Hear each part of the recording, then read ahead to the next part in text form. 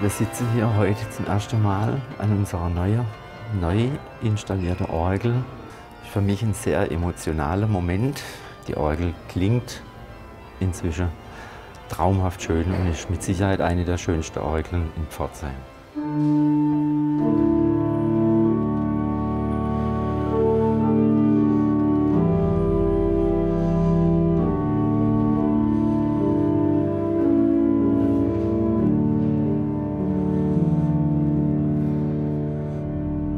Die Orgel ist, hat einen Klang bekommen, der ja, dazu reizt, anreizt, ein, ein großes Programm zu spielen. Ich habe das Gefühl, die Orgel ist eine echte Einheit geworden und das ist eine Meisterleistung.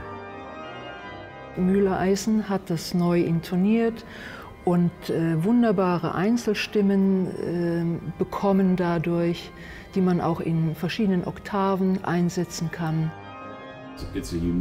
Es ist ein einzigartiges Instrument seiner Art, denn das ist die Essenz der Pfeifenorgel. Und das Spielen erfordert eine gewisse Wertschätzung.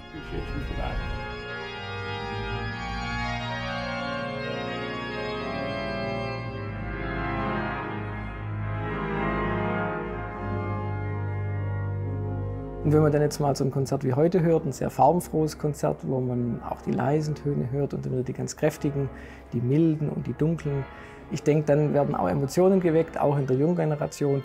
Das Zauberwort ist weniger, die Orgel populär zu machen durch populäre Musik. Das geht auch mal, sondern einfach durch Musikvermittlung. Im Musikunterricht wird aus meiner Sicht die Orgel viel zu wenig durchgenommen, viel zu wenig erklärt.